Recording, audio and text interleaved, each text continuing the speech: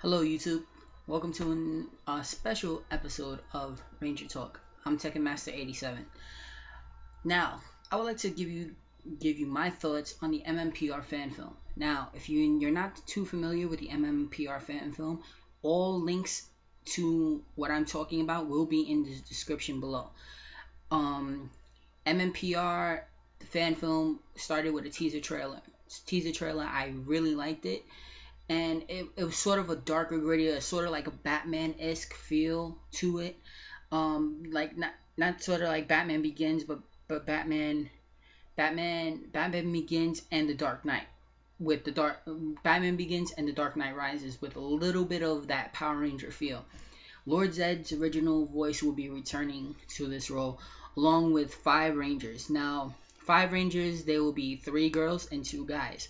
I'm kind of I'm I kind of like the fact that they're doing three guys and two three girls. Oh, sorry, three girls and two guys, because the girl is a Blue Ranger and we got pink, yellow, black, and red.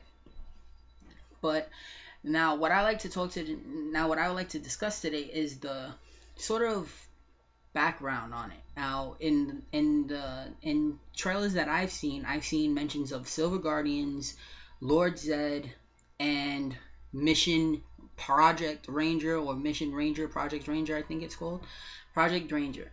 Now, Project Ranger to me, it seems like that Silver Guardians are in this particular Power Rangers MMPR universe that they are the government. They are the ones who have say so. And we even see a kid who who obviously is is trying to get his opinion out there, like trying to do a YouTube video, but his camera's all jacked up and stuff like that.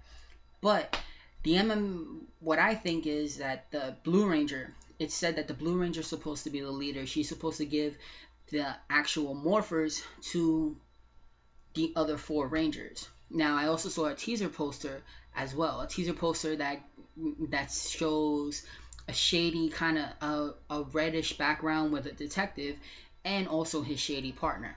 Now, as for why am I making this video? Because I have this this strange feeling that the Blue Ranger is is yes, she will be giving the other Rangers the morphers, but she will be giving she used to she probably she probably still probably was working with the Silver Guardians or is a scientist or the scientist you'll see in the description below um, the teaser trailers. Um, probably his daughter, and he probably felt that the Silver Guardians are not using his tech using his technology well, so he gave her the morphers to find four other four other people who would use his morphers well.